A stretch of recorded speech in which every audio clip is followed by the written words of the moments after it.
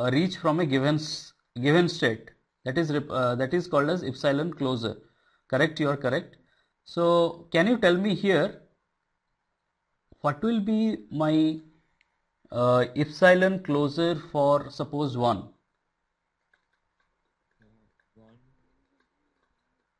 closure of 1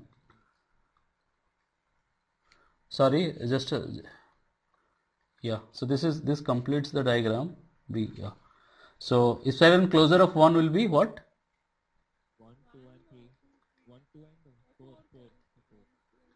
4. okay similarly what uh, epsilon closure of 2 will be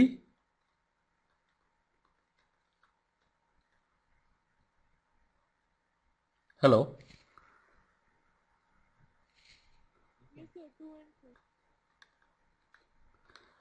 okay so uh, so so so this is called as epsilon closure that tells me that what are the set of states i can reach from a given state through empty transitions. Okay. Now let us come to another definition that is called extended transition function.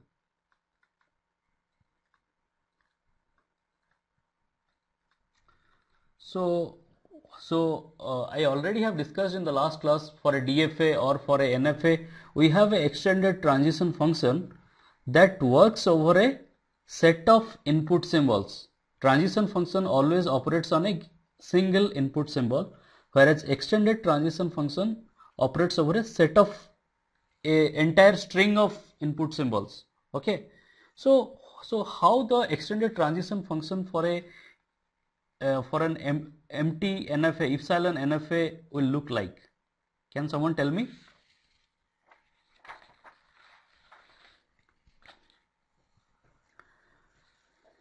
So suppose, suppose I have a string, okay, u as, suppose I have a string u, okay, and my uh, is a string of alphabets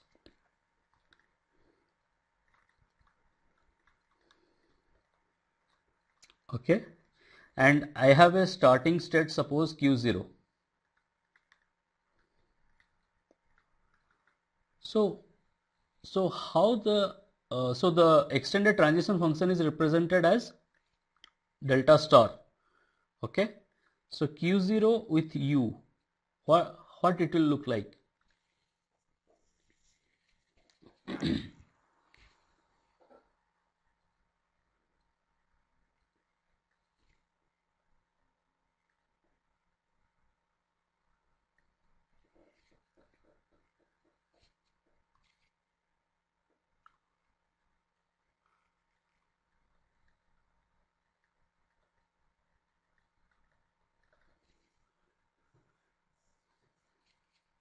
Any guess? So let us see what, what it will look like. Okay. Only through derivation we can find it out.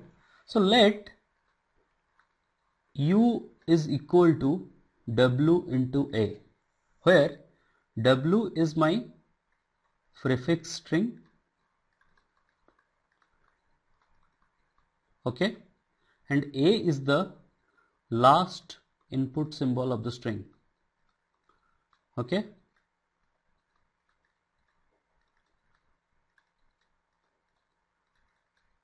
Is it visible uh, the what I am writing?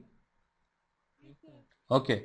So so how the automata will move? The automata will first try to consume the input string w. So it is in q0 state okay?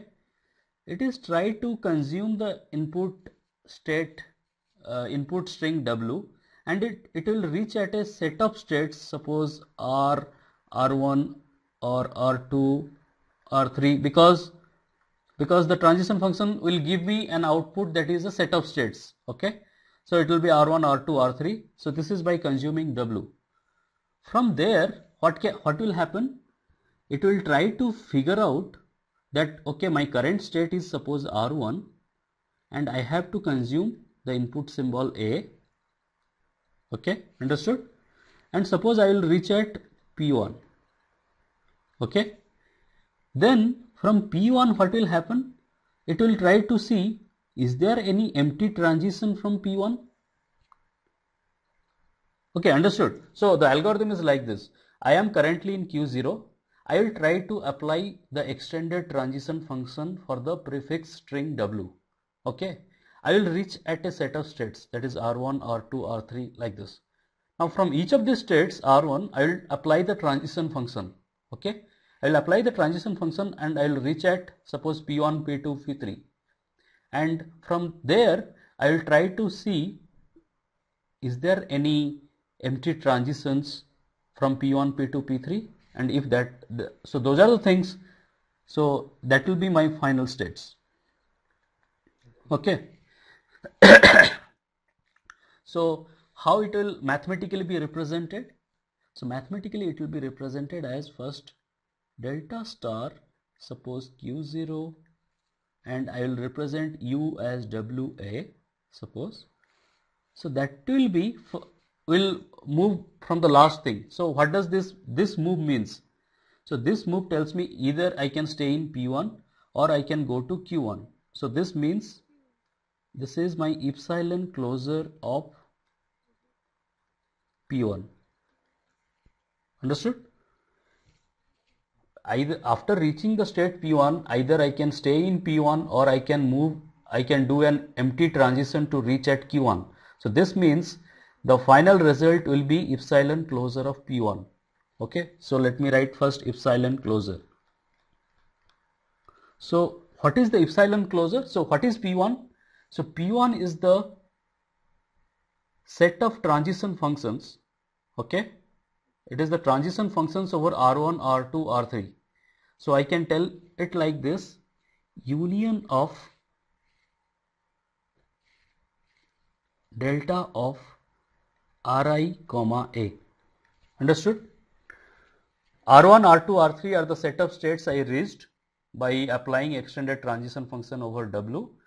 Then for each of these R1, R2, R3 I apply the transition function, normal transition function with input symbol A. Okay. So that's why I put a union. Okay. And what this Ri is? Now Ri belongs to extended transition function of Q0 W. Understood? So this is the mathematical form of a extended transition function for NFA with empty transition. Any doubt? Okay. Okay. So,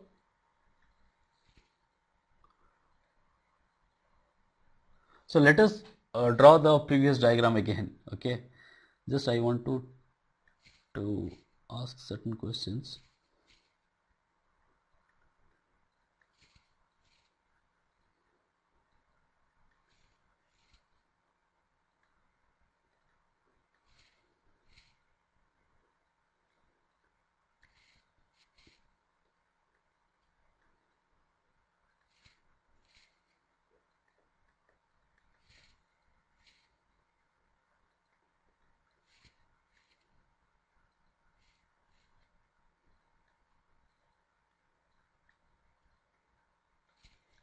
So can you tell me what is an extended transition function for this thing?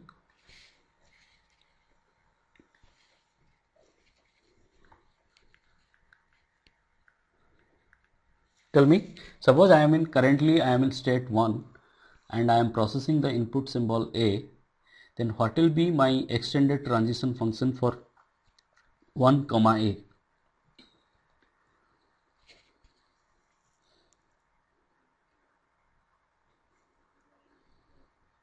Hmm? 1, 2 and 4. Why?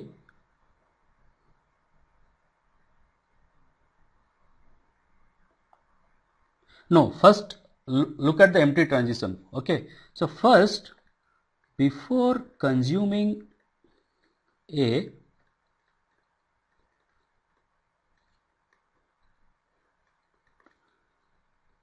where I can be